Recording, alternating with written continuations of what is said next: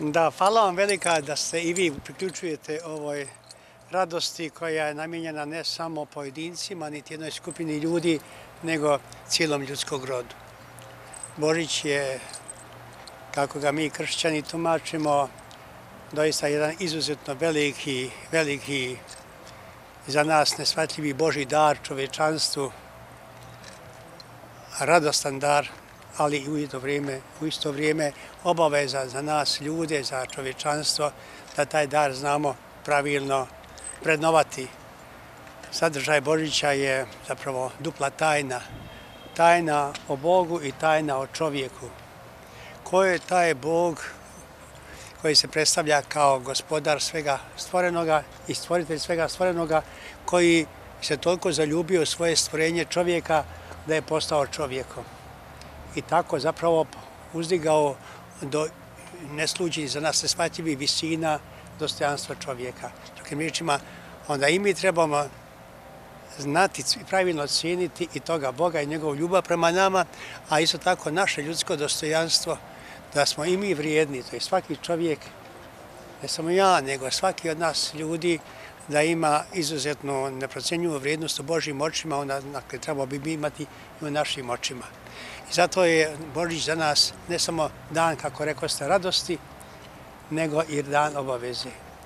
Obaveze da se upitamo jesmo li mi ispravno shvatili Božić, taj definitivni mirovni ugovor između neba i zemlje od strane Božije, kojeg on ne povlači i kako mi reagiramo na taj ugovor.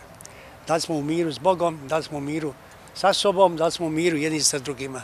I koliko se trudimo oko ostvarivanja toga Božjega ugovora koji on sklopio s nama.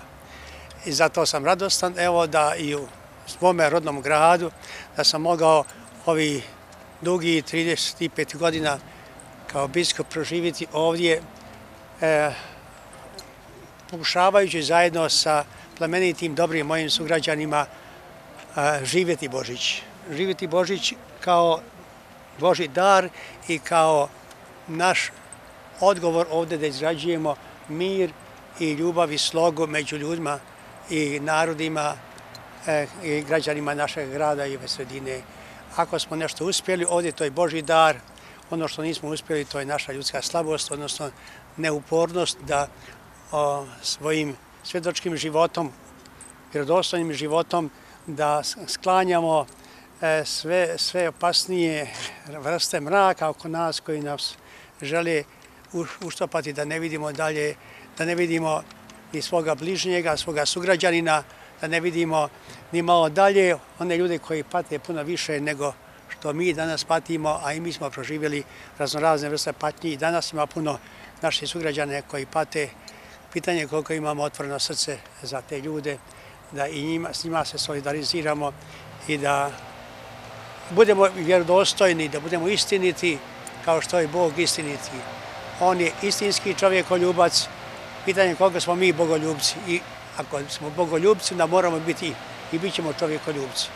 To svega srca želim sebi i svim eh, vjernicima Banjaloške biskupije i svim eh, kršćanima u ovom gradu koji po starom i po novom kalendaru slave ovaj veliki događaj ulaska, definitivnog ulaska Boga u ljudsku povijest i kad čini on od te povijesti, iz povijest spasenja, da ta se povijest spasenja, povijest mira, bogoljublja i čovjekoljublja učvršćuje što više u ovom gradu i ovoj zemlji.